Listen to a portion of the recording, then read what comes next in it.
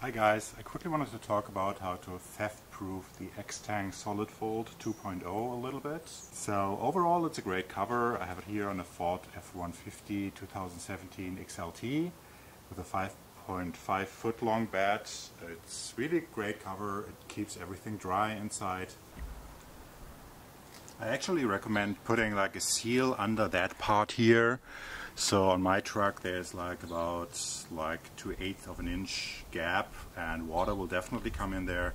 So I bought this seal. It's a camper uh, seal for a truck. It's like Amazon 20 bucks. And I put about two layers of that under that and it's pretty water waterproof so no water came in so far.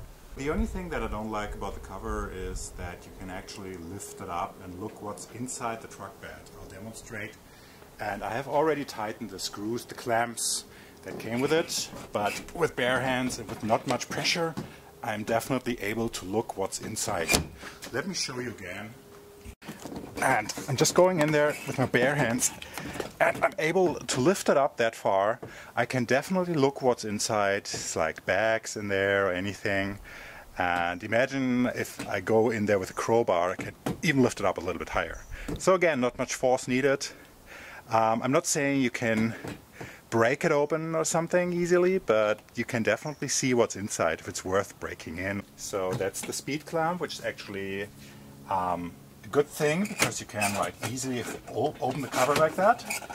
But the thing is, um, and I put a light in here so you can see better, if I lift it up, and I already have tightened the screws as some people have suggested on the internet, but it doesn't help, so you can still lift it up all the way and again, peek inside to see what's in the truck bed.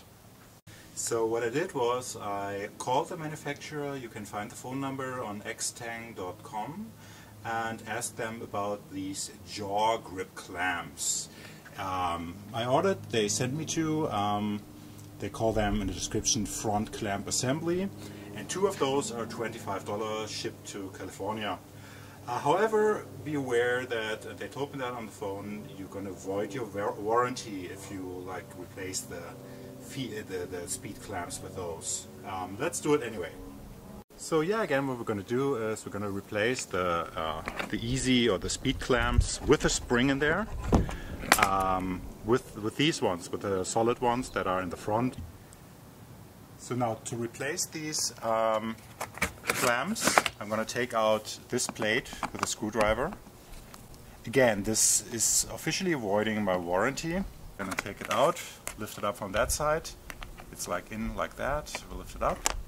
And we can basically just take that speed clamp out and put the jaw clamp in here.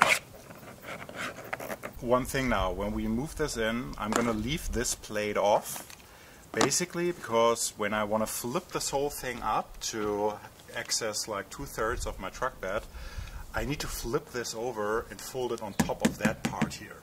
The issue though is that the speed clamp is designed to fold pretty much flush in here, which the uh, jaw clamp does not too much. So I assume that if I fold it up like that, I will put a dent on, onto the top of the other side, which will be pretty ugly because it's on the outside and pretty visible. So what I'm going to do is I'm going to leave this plate off.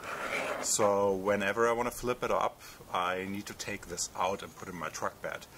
Um, I know it's a little bit more complicated than just flipping the, the, the speed clamp over, um, but on the other hand, I'm not doing it that often, so I gotta live with it. So now that we have replaced both the clamps, I'm gonna flip the cover back over. Make sure the jaw's in, in the bed rail.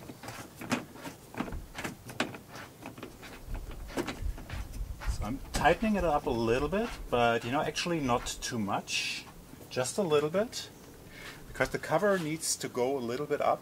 It needs to be able to move a little bit when we close the tailgate.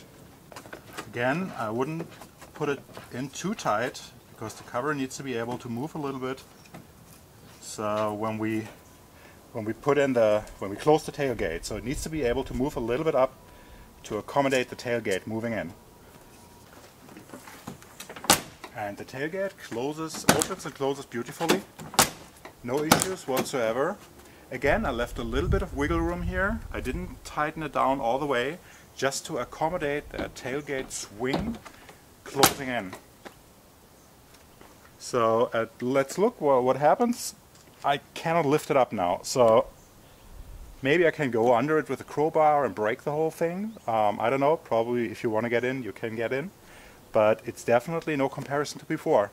So I'm not able to lift it up to, lo to look inside. So that's, that's about it. So definitely a difference of like two or three inches that I was able to lift it up before with a speed clamp. So I'm pretty happy with it. Again, it's going to void your warranty. You can get those clamps, those jaw, jaw grip clamps when you call Extang. Phone numbers on their website and they're about $24, $25 shipped to California. So yeah, that's it. Thanks for watching.